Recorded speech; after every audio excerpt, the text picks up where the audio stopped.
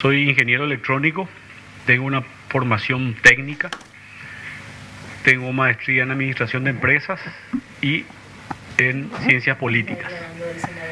Esa maestría en administración de empresas me sirvió mucho para entender el derecho administrativo y manejarme dentro de los distintos cargos de relevancia que he ocupado en mi vida pública. Fui presidente de la AFEMOT tres periodos nueve años. Fui presidente de la Antelco, hoy Copaco, un año. Fui presidente de la CONATEL, la Comisión Nacional de Telecomunicaciones, durante tres años. Presidente de la Cámara de Diputados, cinco años. Presidente de la Comisión de Obras Públicas, un año en diputado. Presidente de la Comisión de Prensa, un año en diputado. Y tres años líder de la bancada colorada. Fui vicepresidente del Senado y cuatro años senador y reelecto nuevamente senador por cinco años más. Los vaivenes políticos, los enemigos políticos, las circunstancias políticas, los cargos administrativos que he tomado, lógicamente son cargos de decisiones en las cuales uno se gana afectos y desafectos. He tomado siempre mis decisiones en base a, a la gente, en base a la ley, en base a la Constitución Nacional. Y me he, me he ganado enemigos y muchos amigos en la historia política paraguaya. Aquí, su señoría, lastimosamente se montó una historia en una circunstancia en que yo venía como senador, como senador recién electo, con mi lista propia, dos diputados en la Cámara de Diputados por mi movimiento, un senador y un gobernador por mi movimiento, vicepresidente del Senado, y me perfilaba para ser presidente del Congreso. A partir de ahí, las intrigas políticas, las inquinas políticas, los enemigos políticos, hicieron un buen trabajo y se montó una historia a raíz de un error administrativo. Y esta historia que se montó, lógicamente que habrá indignado a mucha gente, porque usando una fotografía de un cumpleaños infantil de mi hija de dos años. Yo tengo tres hijas, dos menores, cuando eso cumplía dos años la más chica. Y yo ya estaba separado, o sea que nunca... y ese evento era muy especial porque, porque la hice yo en mi casa. Y yo era presidente de la Cámara de Diputados y estuvieron, y yo, su señoría, puedo presentar también como prueba, porque últimamente las fotos constituyen pruebas para condenar, eh, y uno en la vida política se fotografía con tanta gente, porque ese es, ese es lo que a nosotros nos apasiona, ¿verdad? Y cuando más todavía cuando la gente quiere salir con uno en una foto es, uno se siente bien y miserablemente se usó esa foto. Y en ese cumpleaños infantil estaban como 15, 20 funcionarios de la Cámara de Diputados. Y me fotografié con todos, pero se usó solamente esa foto, donde la funcionaria Gabriela Quintana le cargaba a una de mis hijas. Y después preguntan, ¿y por qué no hay, pero hay otras fotos? Hay muchas fotos. y yo una vez en un programa de televisión mostré un banner donde habían como 14 funcionarias y funcionarios de la Cámara de Diputados cargándole a mis hijas. Porque yo era el presidente. Estaba haciendo campaña política, salíamos, se iban. Y recién me preguntaba una periodista del diario ABC si eh, yo, me equivoqué y dije que se cola, siempre se quiere colar la gente cuando el presidente realiza una actividad Y me dice, y Gabriela Quintana se coló también en ese cumpleaños, me dice. No, se fue invitada por mi hija mayor, que era su amiga, que sigue siendo su amiga y que la miserabilidad humana también lleva a que muestran una foto y no muestran las otras fotos. Porque también inclusive hay un video en YouTube donde Gabriela Quintana está con Micaela.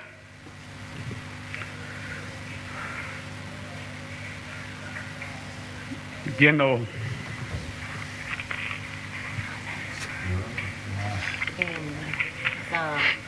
yendo al gimnasio,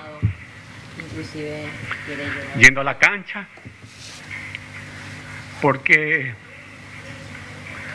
a mis hijas mayores les gustaban los futbolistas. Y se iban juntas, se cargaban, inclusive decían que eran botineras. Pero esas fotos nunca se mostraron. Esa foto no incrimina. Esa foto al contrario demuestra una amistad que uno como padre de familia no puede cortar.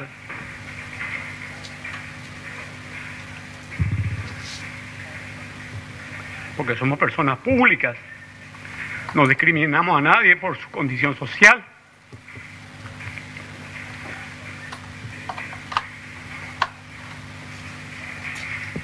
Pero en fin, se montó esta historia, la niñera de oro.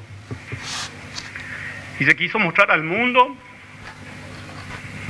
que yo pago plata pública, con, que con plata pública yo pago a mis empleados particulares. Y mucha gente me conoce, excelencia. Mucha gente me conoce. Sabe de mi don de gente, de las oportunidades que le di a mucha gente en todos esos cargos. Y Gabriela Quintana como una más, que se le dio la oportunidad de trabajar, primero como pasante en la, en bancada colorada, después le contrató otro presidente, le contrató otro eh, presidente, porque yo cuando eso no me llevaba con el presidente actual, y le contrató excelencia, no porque yo haya pedido, porque pidió por ella una pareja que son funcionarios de la Cámara de Diputados, la familia Reinal. Ellos pidieron por ella y se le contrató a ella en la Cámara de Diputados. Después se hizo amigo de ahí, de amigo allá, amigo acá. Y estuvo mucho tiempo en la Cámara de Diputados trabajando. Completó sus estudios, terminó asistencia social ¿eh? y tiene varios otros títulos académicos. Creo que tuvo que trabajar hasta de pedicura, de manicura, porque le, le sacaban todo lo que tenía, le dejaban en la calle, no importa. Y me pidió ir a Itaipú, comisionada a Itaipú. Me pidió ir comisionada a Itaipú, porque iba a desarrollar asistencia social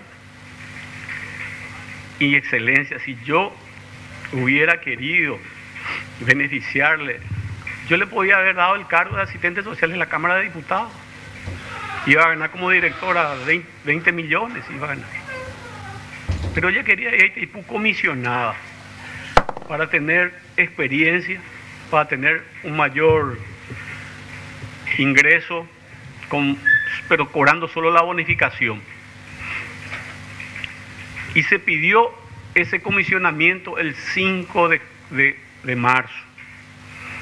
Disculpe respetuosamente, el señor fiscal quiso decir de que fueron tres, cuatro errores administrativos. Y acá hubo un solo error administrativo que desencadenó todos los demás, errores. Y después se mediatizó también, y yo le pido disculpas públicamente a la viuda de Anki Boxia. Yo nunca le traté a su marido, ni nunca hablé mal de su marido, ni nunca ofendí la memoria de su marido. Siempre dije que yo, que esto comenzó con un error administrativo. Y si yo hubiera hablado con Anki Bosia, el finado, que Dios lo tenga en su gloria, jamás hubiera ocurrido esto. Yo nunca hablé con él. Una vez me visitó formalmente cuando asumió el cargo de Itaipú en el gobierno de Franco. Hizo la audiencia, lo recibí y después él fue convocado en el mes de febrero, pero fue convocado por la comisión permanente. Yo estaba en receso parlamentario. Y la diputada Perla de Vázquez era la presidenta de la comisión permanente y fue convocado por Perla de Vázquez y se reunió con la comisión permanente. Yo nunca le pedí nada. Y eso, cuando eso volvimos del receso parlamentario y el primero de marzo fue un día feriado y el feriado se pasó para el lunes, lunes 4. Entonces no comenzó la actividad parlamentaria el primero de marzo, comenzó el lunes 4 de marzo, pero era feriado. Y el 5 de marzo, me acuerdo como si fuese hoy, porque me marcó la historia, porque fue el inicio de cinco años y la, y la prensa pregunta, ¿por qué chicaneaste? Yo, señora jueza, con el corazón en la mano.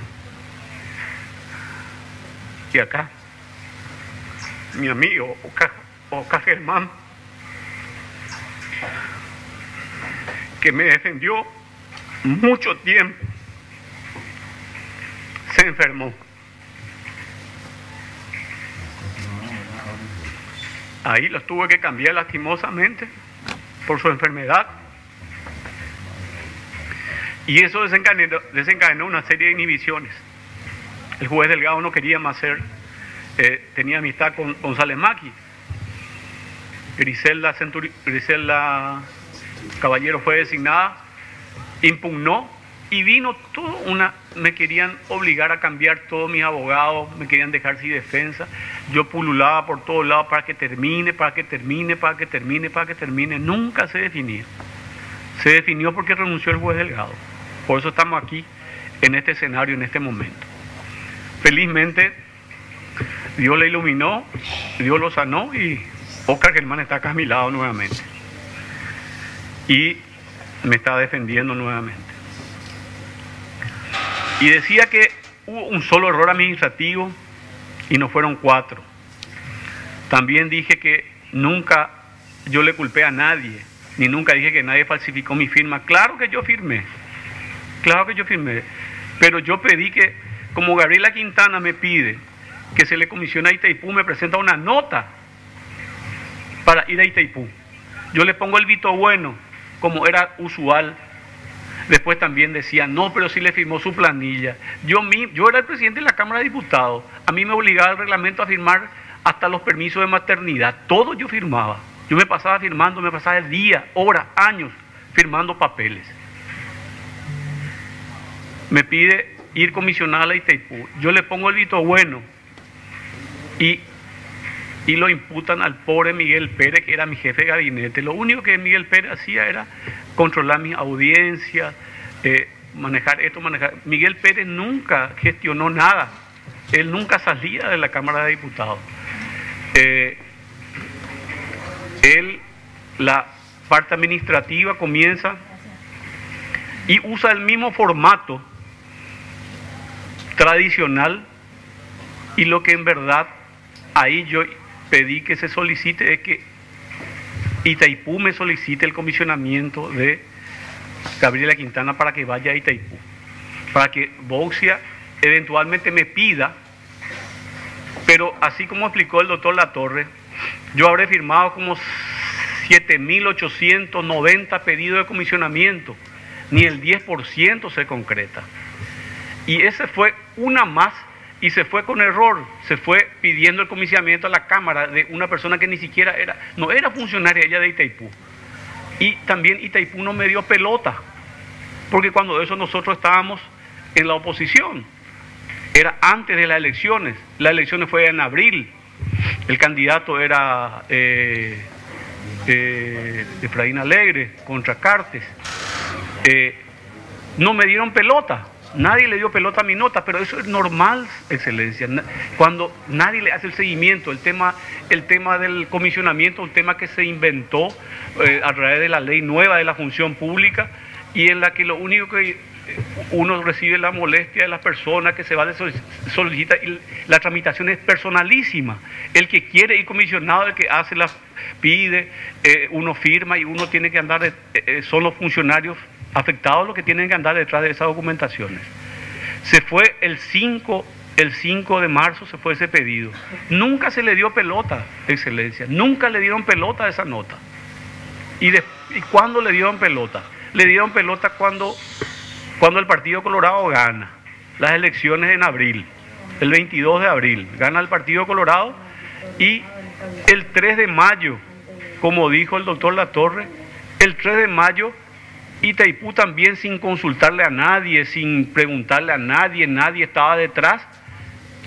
Itaipú, en vez de, en vez de no darle pelota a la nota, en vez de archivar la nota, rechazar la nota por improcedente, Itaipú la contrata y la comisiona.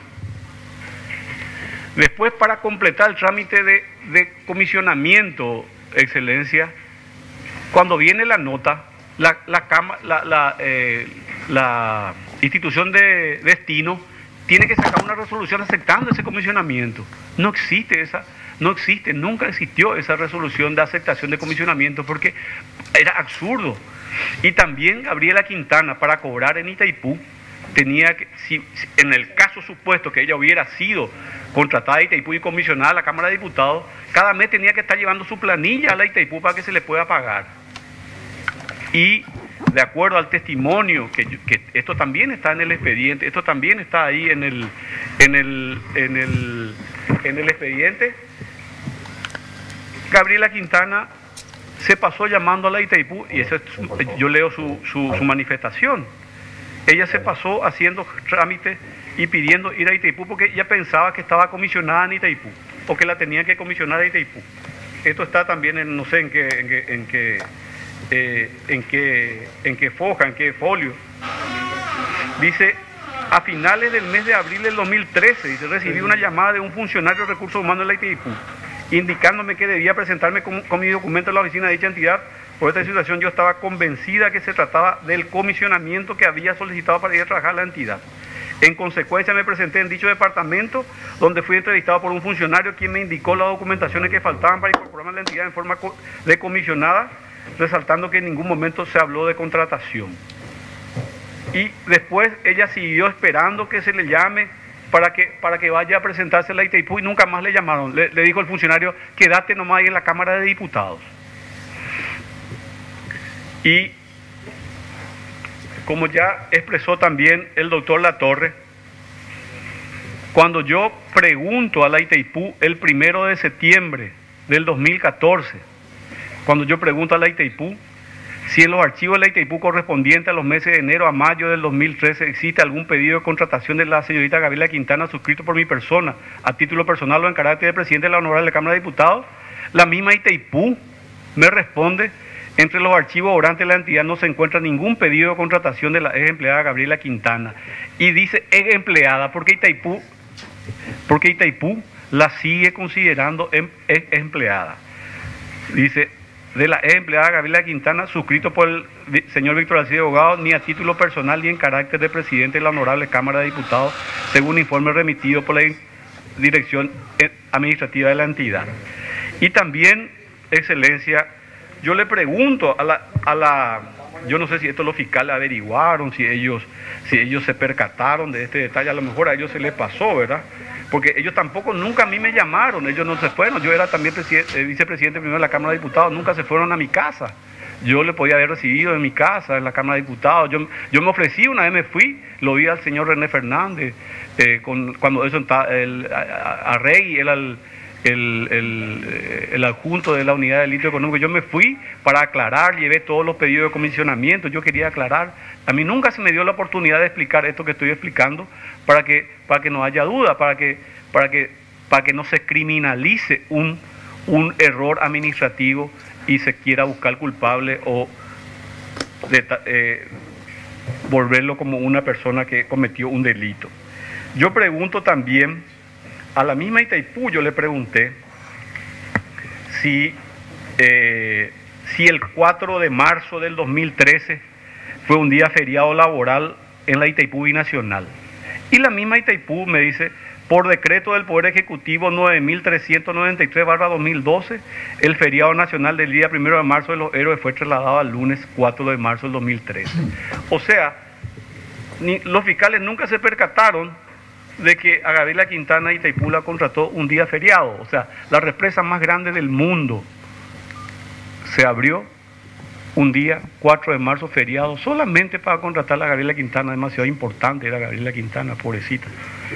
Así que, mi querida gente, yo quería simplemente dejar estas puntualizaciones y como suele darse y suele decir un adagio, ¿verdad? Cuando ocurre un accidente, eh, siempre un accidente es una serie de situaciones que se van dando una situación tras otra situación. Y un error precipitó todas las otras, todos los otros errores. Y Taipú no se quiso equivocar, se equivocó. La Cámara de Diputados no se quiso equivocar, se equivocó. Y todo lo que vino después fue una serie de situaciones y de errores, tanto de la Cámara de Diputados como de Itaipú. Y es cierto, el, el señor fiscal respetuosamente dice, menciona así, ¿por qué no se, no se mencionó otra nota en la que se volvió a reiterar eh, eh, la renovación del comisionamiento. Justamente a raíz de ese pedido se detectó que era absurdo comisionarle a una persona que era funcionaria de la propia institución.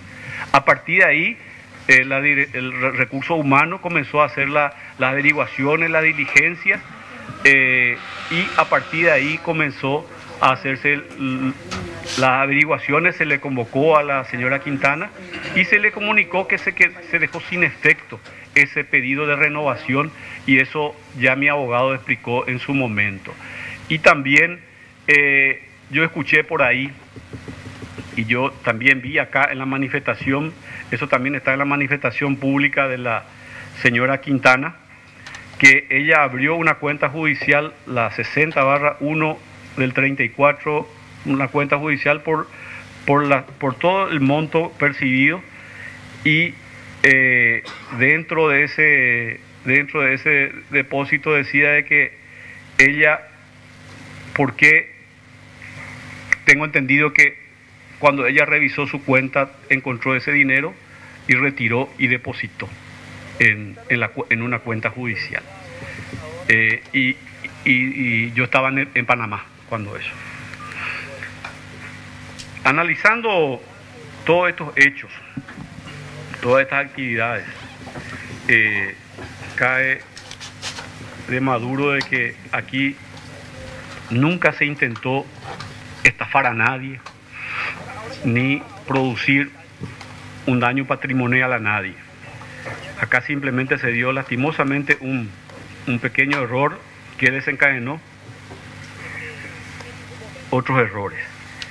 Y también eh, le pido, excelencia, que analicemos el contenido de la acusación tal como lo puntualizara ya también el Tribunal de Apelaciones que había anulado una audiencia preliminar y había retrotraído a este escenario. Que mucha gente también eh, lo satanizaron a, un prestigioso eh, a un prestigioso camarista con quien yo nunca conversé, pero fueron tres camaristas que, resolvieron eso. Eh, yo nunca conversé con ninguno, yo ni lo conocía. Y, y me dieron la razón en el sentido de que se debiera haber analizado los fundamentos y la verosimilidad de la acusación para poder llevar a, este, a, juicio oral esta causa. Así que es lo que yo quería. Y también en la, eh, la sentencia le escuchaba atentamente al, al fiscal decir de que eh, no constituye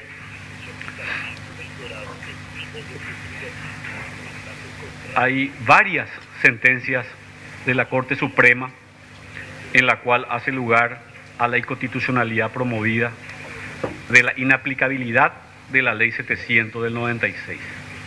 Entonces, Excelencia, aquí, como quien dice, y quiero terminar con esta frase, para, para que quede tan claro y para que la gente pueda entender. Como me dijo el ex senador Adolfo Ferreiro, a vos te acusaron, Víctor, de un crimen que nunca se cometió. Y me dijo también en su momento cuando yo mostré el banner de todas las funcionarias de la Cámara de Diputados que estaban cargándole a, mi hija, a, las dos me dijeron, no vaya más mostrar ese porque van a decir que tiene 14 o 20 niñeras.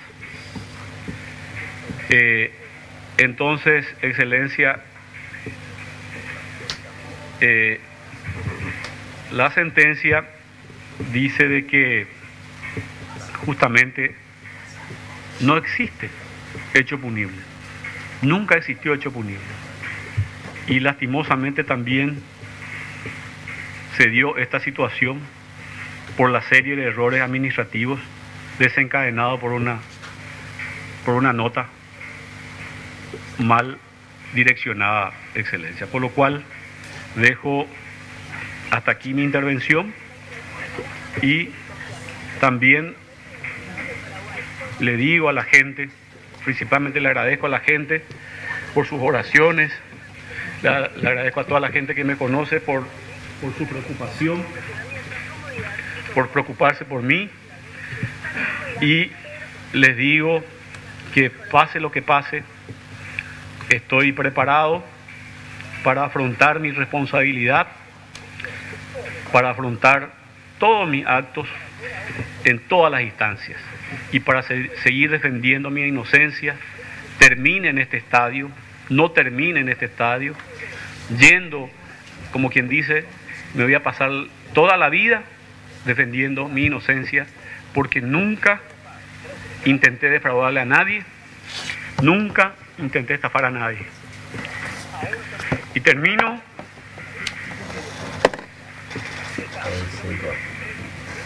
con esta frase porque ahora se usa, se utiliza mucho políticamente todas estas situaciones de, corrupción, de ataque, de escrache, para denostar contra las personas. Y en mi país, y nos, llenamos la boca de la Constitución Nacional. Decimos que respetamos la Constitución Nacional, pero respetamos a veces algunos artículos y otros artículos no los respetamos. De, repente se quema el Congreso y no, no, eh, eso no es, no, es, no es violar la Constitución, o, no, o se defiende esto, o se defiende aquello. Eh, yo creo que todos estamos, nadie está excepto de respetar eh, la Constitución Nacional. Y, este juicio se convirtió también en un juicio mediático y político. Y generalmente también independientemente a la gran tarea, a la gran labor que, que, desempeñan los comunicadores, hay medios que ya condenan. Entonces no existe la presunción de inocencia. Y la Constitución Nacional habla en su artículo 17 que se presume de la inocencia de las personas. Y dice también que la imputación no causa agravio. Y vaya que no causa agravio. Vaya que no causa agravio. Se le imputó a fulano. La imputación no causa agravio. Yo ya fui imputado, excelencia. Yo fui imputado en el 2006 porque supuesta, por supuesta lesión de confianza de Conatel. Seis años pululé por todos lados y fui sobreseído definitivamente. Nadie me pidió disculpas, nadie me pidió perdón. Seis años de mi vida se fueron. Seis años de mi vida se fueron. Y hoy la gente que aprovecha, que juzga, que condene, nadie que tire la primera piedra al que esté libre de pecado. Nadie tiene la capacidad de juzgar a nadie. Los jueces dictan sentencia, pero el único que juzga es Dios Todopoderoso. Y hay muchos escrachadores que se, van y denostan contra las personas. A lo mejor muchos tienen buenas intenciones. Yo les felicito, yo también. Me gustaría tener un país más ordenado, un país, un país sin corrupción, un país con más sin niños en la calle, un país que verdaderamente eh, sea habitable para todos y que todos vivamos mejor. Pero también digo que no vale la pena eh, juzgar nunca a nadie ni condenar a nadie a nadie sin, sin que uno tenga una sentencia firme y ejecutoriada. Y yo soy inocente, excelencia. Y eh, también le pido disculpas a estas dos personas, a Miguel Pérez, a Gabriela Quintana, que fueron víctimas del sistema, fueron víctimas de la miserabilidad humana de la política criolla nuestra, porque ellos fueron víctimas. Y la imputación no causa agravio. Y yo ya no soy jefe de ellos. Miguel Pérez fue jefe de gabinete mío. También trabajó con el que fuera director de Itaipú. También fue, yo lo conocí como director de la Comisión de Obras Públicas. Brillante funcionario. Impecable. Padre de familia ejemplar. Y de repente lo llaman a indagatoria. Se va en su indagatoria y va de contramano con la manifestación que tenían los fiscales. Entonces, como él iba a ser mi testigo favorable, lo imputan. Y viene cinco años arrastrando. Ocupó la máxima jerarquía en la Cámara de Diputados, fue jefe de gabinete. Nunca más le promovieron, estuvo por los pasillos, le fundieron la vida casi. Y una vez le decían chicana, chicana. Nosotros lo único que queríamos era terminar con esto. Tres veces se suspendió porque Miguelito Pérez, en una oportunidad, preocupado por todas estas cosas, cruzó la calle del Congreso y miró otro lado. Le atropelló un taxi. Casi murió. Casi murió. Y no le causó agravio. Casi lo mataron. Pero en fin, como quien dice David, son cosas que pasan. Yo le pido perdón a ellos, porque por mi culpa, para fundirme políticamente, montaron esta, esta historia. Y yo le digo lo siguiente, no vale ni un día estar sentado en la banca de senadores por el sufrimiento de estas personas. Y yo con gusto regalaría esa banca a quien sea, con tal de ahorrarle sufrimiento a estas dos personas, porque no vale la pena. Dios quita y pone reyes. Y mi banca es de Dios. Gracias. Muchas gracias. Terminó de declarar el senador Víctor Bogado, quien estuvo casi todo el tiempo de su manifestación llorando aquí ante la jueza Rosarito Montanía.